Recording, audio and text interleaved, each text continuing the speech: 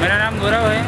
आज इंदौर के अंदर ट्रैफ़िक को लेकर बहुत सारी समस्याएँ आई हैं। देखिए, हर जगह ट्रैफ़िक सिग्नल्स तो लगे हैं, लेकिन उनको सही तरीके से फॉलो करने के लिए मेनली तो पब्लिक फॉलो नहीं करती है, लेकिन धीरे धीरे अवेयरनेस के लिए ट्रैफ़िक पुलिस को भी उसके लिए कदम उठाने चाहिए टाइम टाइम पर